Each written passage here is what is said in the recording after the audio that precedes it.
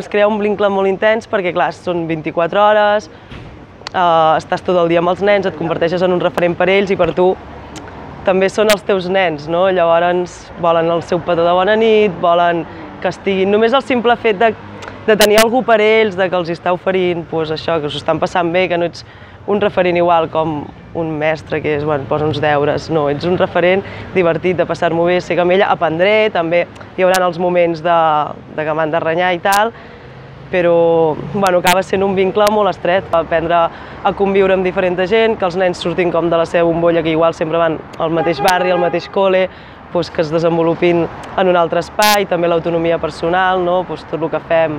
Les petites coses com que parin taula, que recollim tots junts, doncs tot aquest tema d'educació de, en valors, que aprenguin petites coses i a ser més autònoms, estar fora de la seva zona de confort. Jo crec que l'equip de, de monitors és, és el més clau, no? que hi hagi que ens entenguem tots entre l'equip de monitors, que hi hagi una motivació extra, que t'agradi. És una feina molt vocacional, no? Llavors, si la fas només per diners, no, ha de ser que tu t'impliquis, que t'agradi. Llavors, l'equip de monitors que es porti bé, que tingui una bona relació, que estiguin motivats, que jo crec que és la clau. Després, clar, el tracte amb els nens i les activitats que facis amb els nens i tot això, però l'equip humà és molt important en aquest aspecte.